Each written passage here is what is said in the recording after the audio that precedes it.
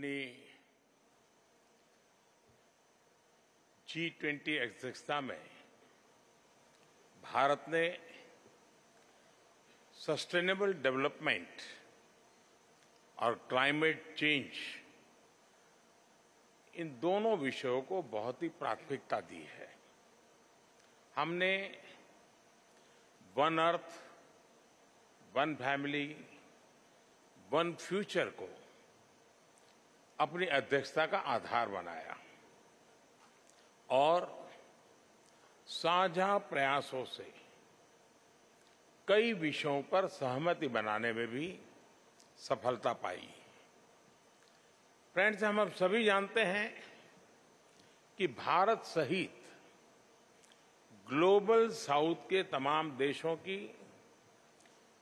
Climate change में भूमिका बहुत कम रही। पर क्लाइमेट चेंज के दुष्प्रभाव उन पर कहीं अधिक है।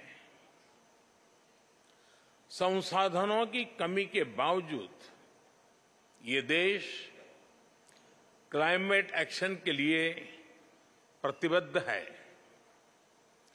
ग्लोबल साउथ की आकांक्षाओं को पूरा करने के लिए क्लाइमेट फाइनेंस और टेक्नोलॉजी बहुत ही ज़रूरी है।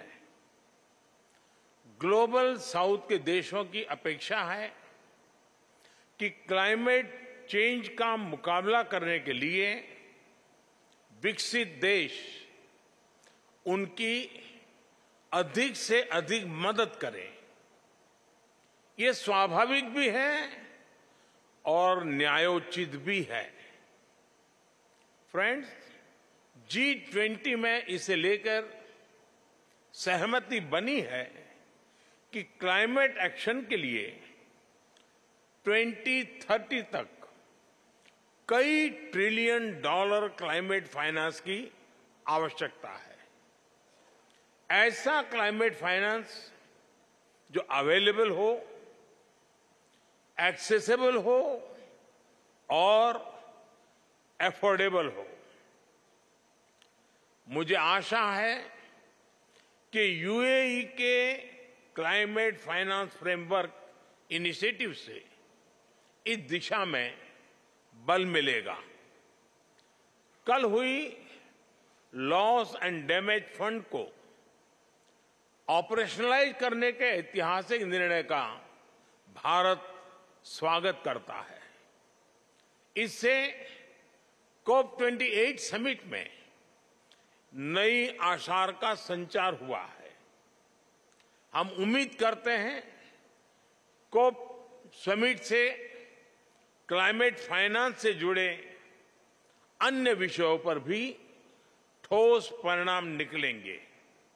पहला, कोप 28 में new collective quantified goal on climate finance पर वास्तविक प्रगति होगी। दूसरा, ग्रीन क्लाइमेट फंड और एडप्शन फंड में कमी नहीं होने दी जाएगी। इस फंड की त्वरित भरपाई की जाएगी। तीसरा, मल्टीलेटरल डेवलपमेंट बैंक्स विकास के साथ साथ क्लाइमेट एक्शन के लिए भी एफोर्डेबल फाइनेंस उपलब्ध कराएँगे। और चौथा, विकसित देश 2050 से पहले अपना कार्बन फुटप्रिंट ज़रूर खत्म करेंगे। मैं यूएई द्वारा क्लाइमेट इन्वेस्टमेंट सब फंड स्थापित करने की घोषणा का हृदय से स्वागत करता हूँ, उनका अभिनंदन करता हूँ। बहुत बहुत धन्यवाद। Thank you